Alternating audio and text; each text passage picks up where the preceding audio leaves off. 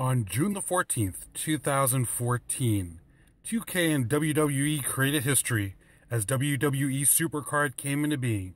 This Wednesday, November 16th, history gets made again.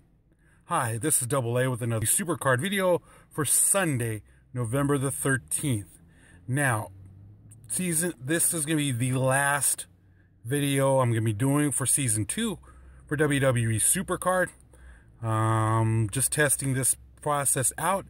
If you like it, if you have any comments, leave a comment for me. Let me know about it. Not we to be able to do it like this, but decided to do something a little bit different. Um, like I said, season three for Supercard is coming up this Wednesday. So many questions, so many answers to come later. Question that I'm big that I'm wondering about the most is when it comes to the new tiers, Harden, the Elite, and the Ultimate, if those are going to be put out over time, or if it's something that's going to be available all at once. And if it is available all at once, will the events start at Hardened, Elite, Ultimate? How are those going to go? So we'll find out how that occurs later on as the game becomes released going to jump into the game here. This is probably the last season two footage that I'm going to be including. So get it, so just soak it all in and enjoy it. Um, started up a season. Just to let you know, I did get the Jer the second Jericho card. It's definitely serving me pretty well. I've got it trained up, gotten it pro. Still working with it, still working up, see how much I could wring out of it. So, and right now I am in a season. I mean, a King of the Ring, I should say, where I'm currently in currently in second place, tied. Well, tied for in a three-way tie, but we'll see how that goes. Um, in all likelihood, the reward structure will be in play when season three comes out.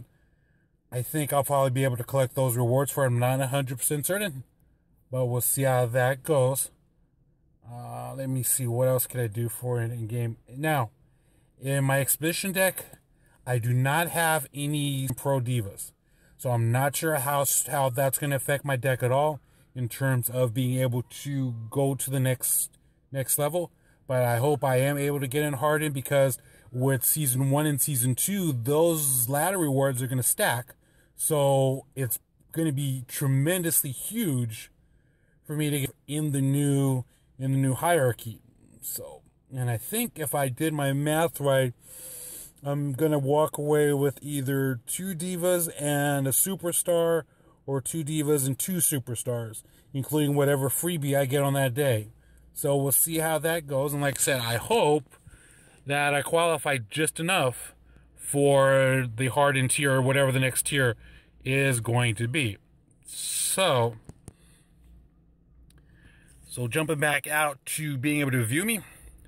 So like I said, I hope you like this format. If you like, if you like me to do it again in the future, see about doing it. Most times when I do my videos, I'm in places that's not conducive to, to doing facial camera.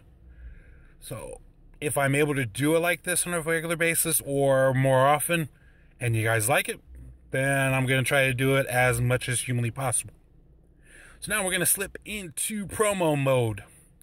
So, this Wednesday night, or this Wednesday, Supercard Presents 3.